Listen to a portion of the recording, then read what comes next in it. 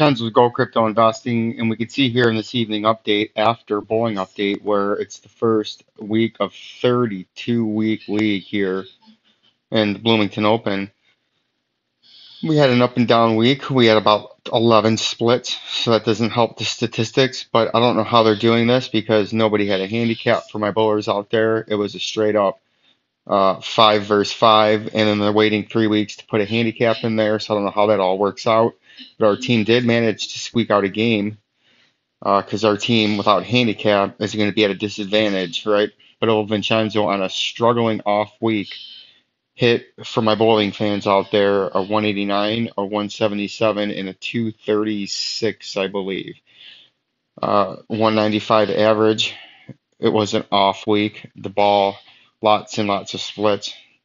Should have just tanked the third game and the seventh, eighth, and ninth frame because we couldn't win without handicap that game, and I should have just let the 30 pins slide, finished with a 195, and lowered my average by 10 pins, right? You know, Got to think about that. But on with bigger and better things. We can see the Bitcoin price did do exactly what we were watching out for. And it took a little bit longer because I got, I got burnt trying to ride this down uh, last weekend. But it did get rejected. And then see right here, it did a classic little signature right here. Look at what happens when we go to the, click in the hill and go to the hour time frame. Look at this right here. This was the classic rejection. So we come way up here on a big massive pump, right? This is what fucked me right there, that last pump getting that high. And then we had an immediate sell off. And then I should have been smarter here because it had that immediate, let's get rid of that. It had the immediate sell off right here, but it critically got below that uptrending yellow line that it needed to hold as support. Got supported on the 200 day and then got immediately rejected. Came back down, right? slightly below the 200 day, threatening to collapse.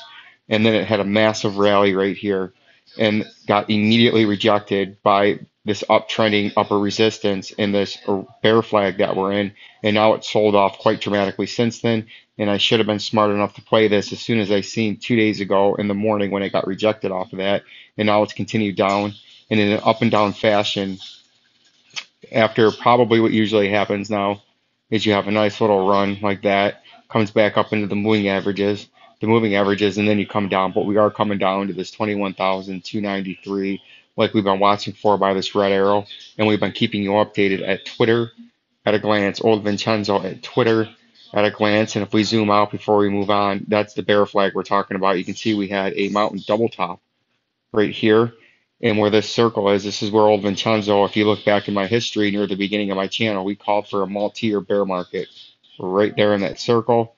This was your mountain double top on a massive bear market rally right here. And now we diagnose this double top, which gives you a targeted move of 13,336. We had our, our initial fall in red here is when the Fed started to tighten. We had we had our initial fall right there. Let's get rid of that. We don't want that up there. We had our initial fall coinciding with the Fed tightening came down and we formed our first bear flag and broke down out of that like you should technically. And then we formed our second bear flag and then broke down out of that. And you can see we're currently in our third bear flag. And the targeted move out of this bear flag right here, and you do targeted moves from the top of the pole to the bottom to the point of a breakout, it gets you right to 13,336.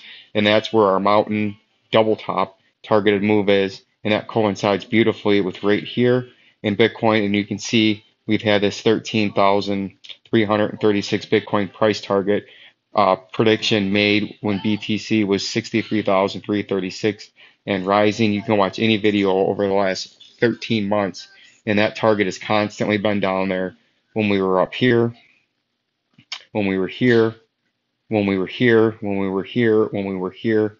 Actually, it started right here when we seen this double top coming it started about right there is when we made the prediction, October, November of 2021. And any video since then that has been there, even when we pumped up, even when we pumped back up, it's been there since then. Check them all out from November, December 2021 through current time frame. Those videos are there.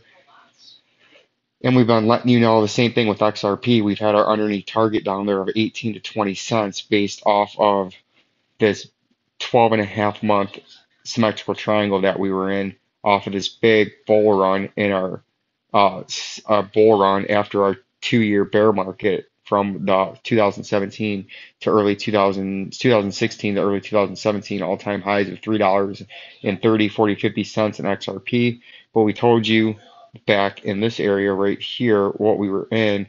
We had descending upper resistance and uptrending lower support with a 90 degree angle entry which is a symmetrical triangle, and it's a neutral continuation pattern. But Vincenzo thought it was going to break down, and we had an 18 to 20 cent target, and we are going to get there. And this orange zone, the last line of defense, is your start of your accumulation, right? And then the shithouse in red is your max accumulation zone, right? If you believe in XRP, the shithouse is your golden pocket, your golden nugget for eventually after a bear market comes down into here, this range, if you get down into the shit house, you have to do mass accumulation and you buy it at 8, 9, 10, 11 cents and you ride it up back to a dollar, dollar 50 and that's how you get your 1000x return and that's eventually what's going to happen in XRP. But in the short term, in the micro time frame, if we zoom into the micro micro time frame in the 15 minute, you can see we finally got rejected and we got rejected harshly by this uh, 37 cent upper resistance. We broke that 200 day with a mini volume spike and a power move in the price action. And now what's most likely to happen is you find a consolidation up here and then you continue to get rejected and you trade on down towards that 30 to 32 cents in XRP that we've been waiting on. And we've been not waiting on, but we've been warning of if you didn't get a confirmed breakout up here that eventually you were going to either come way up to that 48 cent range or if you broke down you're going to eventually trading in an up and down fashion you're going to end up down there for a reset in a regional local uh, consolidation supply zone. Like subscribe and share. Peace and love. Peace and love